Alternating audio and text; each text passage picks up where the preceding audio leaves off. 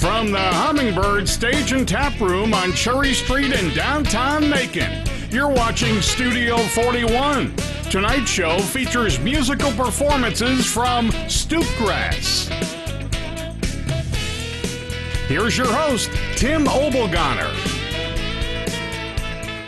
Welcome to this week's episode of Studio 41. I'm your host, Tim Obelgoner. Studio 41 is filmed on location here at the Hummingbird Stage and Tap Room on Cherry Street in Macon, Georgia, each week. This week we've got a great show for you. It's Stoopgrass, the band. Stoopgrass frontman is Matt Moncrief, Middle Georgia's favorite hippie. We're going to talk about a lot of things today, like dreadlocks and what it's like to have a great saxophone player in the band, what it's like to have your biggest fan right in front of you.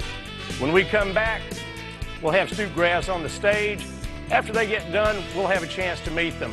You're watching Studio 41, brought to you by the Hummingbird Stage and Tap Room.